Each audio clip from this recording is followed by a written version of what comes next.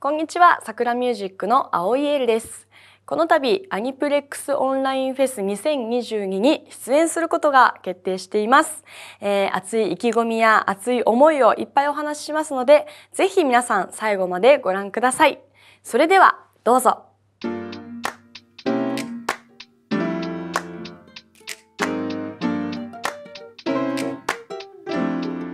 そもそもやっぱりありがたいなって思いますし私はすごい緊張しやすいタイプなので、まあ、人前に出ることだったりとかカメラを前にするとすごく緊張しやすいんですけどでもその緊張するっていう非日常感を味わえる特別な時間だと思っているのでそういったイベントに呼んでいただけるっていうのはその非日常を味わえるっていう意味ではすごく特別だし嬉しいなと思ってます。私が何年も前に海外に行った時はまだ日本で流行ってるアニメっていうのが海外で見る方法がなかったんですよ。なので日本の流行ってるアニメっていうのがリアルタイムで海外で流行ってたかっていうと日本で過去に流行ってたアニメが海外で流行っているっていうどうしてもその時間軸がずれてしまうっていう部分はあったんですけど今はまあこうして、まあ、今回のアニプレックスフェスもあのオンライン配信ということなんですけれども今はどんどんどんどんオンライン化が進んでいって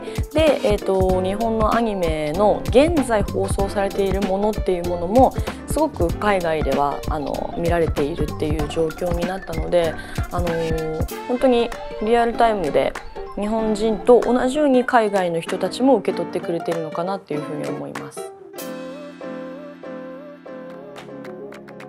有観客の場合ですとその目の前のお客さんを意識してその一体感をどうやって作っていくかっていうことが結構あの大事なところになってくると思うんですけどその一体感っていうのは有観客だからこそ目に見えるものであり感じることができるものであると思うんですがオンラインになってくるとより自分がこう熱量を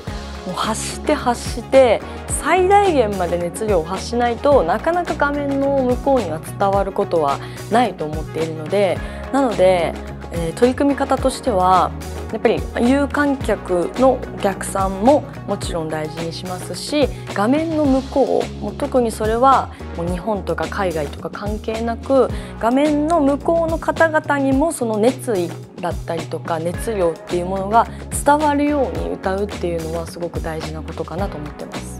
自分の一番の思いはあの来てくださった皆さん見てくださっている皆さんを楽しませるっていうことなのであのそこを大事にしっかりと歌っていきたいなと思います。まず巨大だなっていうふうに思いますしあの音楽だったり電子機器だったりそれこそゲームもそうですけどやっぱりもう誰もが知ってるソニーだなっていう印象もありますしあの私もあのソニーで自分の耳の型を取って作ったイヤホンっていうのがあるんですけどそれも結構こう海外でも買ってくださっている方もいらっしゃったりするのでなんかこう世界に可能性を秘めているとても大きい会社だなっていうふうに思いますしあと、まあ、しっかり音楽もやっていたりとか映像もやっていたりとかあとはまあゲームだったりとか本当に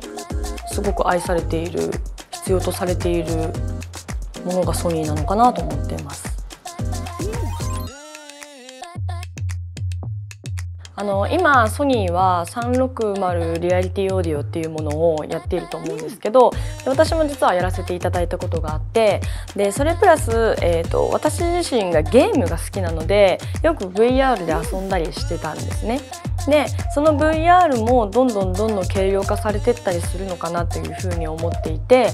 その仮想空間の中でみんなで集まるっていうことをやってみたくてでそれは何のためかっていうとこうライブをどこにいてもどんな場所にいてもたとえ海外だとしてもそのサーバーの中に入り込むことによって、えそしてそこにアバターとして、え自分を存在させることによって臨場感あるライブを楽しむことができるんじゃないかなと思っていてそれこそあのオーディオは360リアリティオーディオを使ってそのソニーのえーと、VR を使ってライブを楽しむ。そして迫力も楽しむことができるし熱意っていうのも結構リアルにそのライブ会場っていうものが再現できるんじゃないかなと思っていて距離を乗り越えて、えー、臨場感あるライブが楽しめるんじゃないかなというふうに思っています。私も VR つけて皆さんの顔を見ながらライブができるっていう状態にしたいなと思ってます。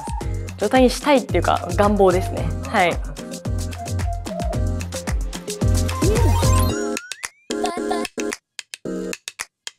What?